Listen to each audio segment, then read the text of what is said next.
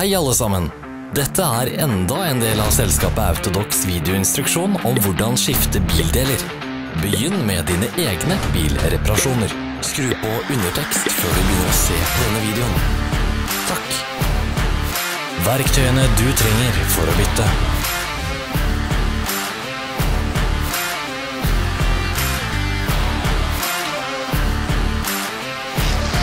Ikke gå glipp av våre nye interessante videoer. Bare husk å klikke på abonner-knappen og bjelleikonet. Vi legger ut nye videoer hver uke.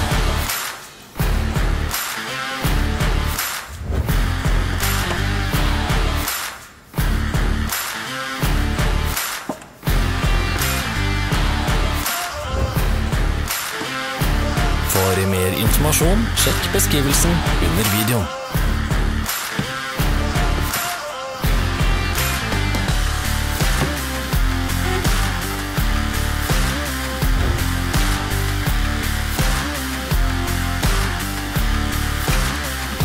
Se beskrivelsen nedenfor for lenker til nettbutikken vår, hvor du kan kjøpe reservedelene.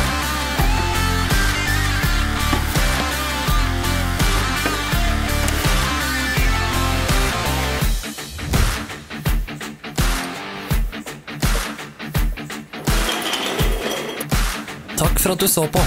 Hvis du likte videoen, skriv til oss i kommentarfeltet. Følg oss på sosiale medier. Vi er på Instagram, Facebook og Twitter. Alle linkene er i beskrivelsen.